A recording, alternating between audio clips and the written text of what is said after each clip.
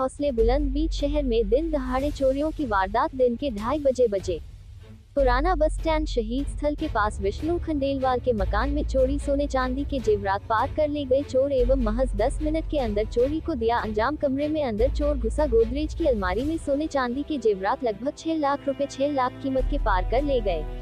दूसरी घटना कोतवाली से महज 20 मीटर की दूरी पर परमद्रा की वृद्ध महिला बैंक से रुपए निकाल कर के लाई कोतवाली के बराबर में जूते चप्पल की दुकान में जूते खरीदने लगी और उसकी जेब काट ली गई। कोतवाली की बिल्कुल नाक के नीचे महज 20 मीटर की दूरी पर मेन बाज़ार में ही लक्ष्मण मंदिर के पीछे दिन में महिला के गले से सोने की चैन तोड़ना चोरों के हौसले बुलंद होते नज़र आ रहे हैं दिन दहाड़े चोरियों को अंजाम दे रहे हैं, जबकि आजकल कोतवाली क्षेत्र लक्ष्मण मंदिर के पास मेन बाज़ार में कोतवाली है लेकिन चोरी की वारदात दिन पर दिन बढ़ती जा रही है। आए दिन दिन दहाड़े लूट चोरी की वारदात शहरी क्षेत्र में बढ़ती जा रही है। कितने रुपए? तीन हज़ार। कहाँ से लाई? बैंक में से निकाल के आई कौन सी बैंक? है ये बैंक पल्ली। एस बी आई हाँ। लालाबार कुंडा पे? हाँ हाँ हाँ। अच्छा। बेटा मेरे तीन हज़ार।